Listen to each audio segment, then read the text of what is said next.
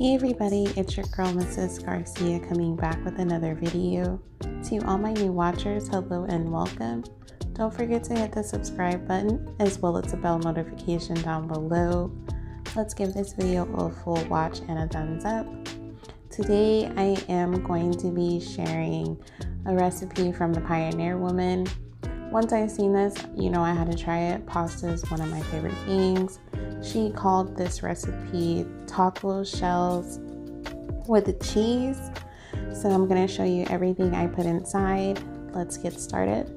So first I am starting off with one jalapeno. I am going to dice this. This is something I am adding to the recipe because you guys know I love my spice, so I have to have a jalapeno. Next, we're gonna go in with one fourth of this white onion and dice this as well.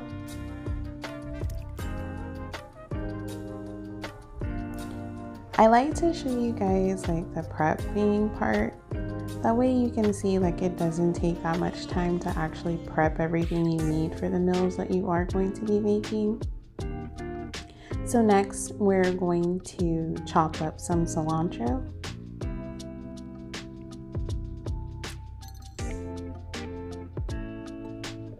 And we are going to shred some cheese.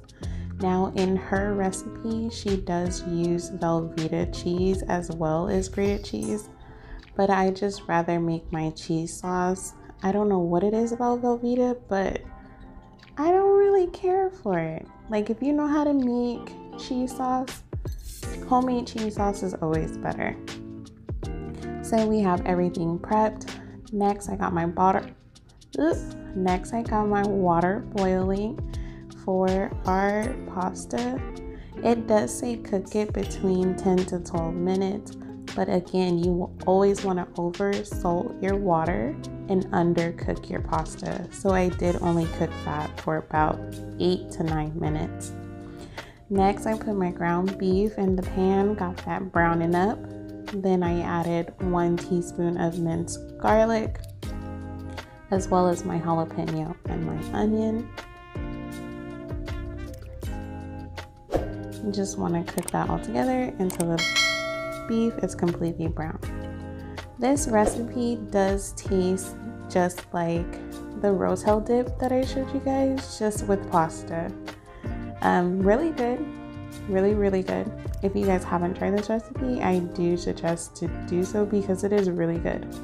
So I did add the can of Rotel and then I went in with half a cup of pasta water. And you guys see my baby Benny? That is my new puppy. I know he doesn't look like one. He's about nine, ten months. But in my old house, I had a door to block off the dogs. This one, they just roam around free. Next, you want to go in with onion powder, garlic powder, chili powder, cumin,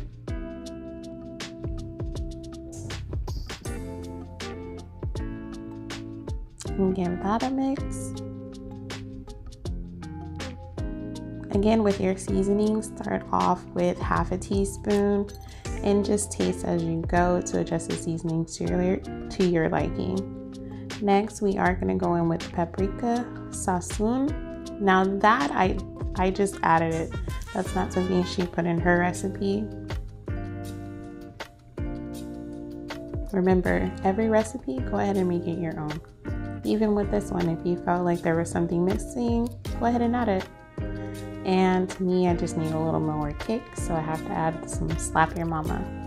Next, we're gonna start with our cheese sauce. So I did add two teaspoons of unsalted butter to the pan, and I'm gonna go in with some heavy cream.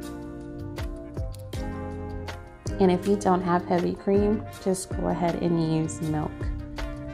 I am going to add about half a cup of milk here. If you don't have heavy cream, go ahead to add two to three cups of milk. Next, we're going to go in with our shredded cheese. And again, if you have Velveeta, this is the time that you do want to add that as well. Or if you're just gonna copy exactly how I did it, just grate your cheese and you can add any cheese that you like.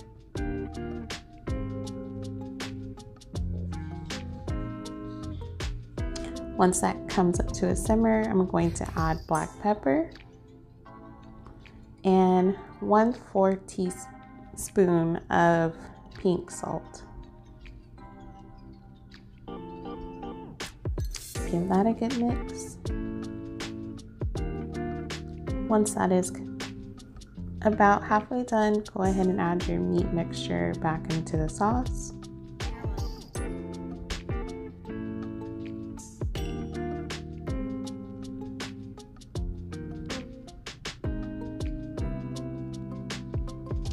give that a good mix and then go ahead and add your pasta. So the pasta will finish cooking in our sauce. So if you feel like it's still a little bit hard, it will finish cooking at this time. Just go ahead and mix that all together. Once that is combined, you want to go in with your cilantro. and give that one more toss. So for you want to cook this all together for about three minutes. And remember, taste and adjust the seasonings to your liking.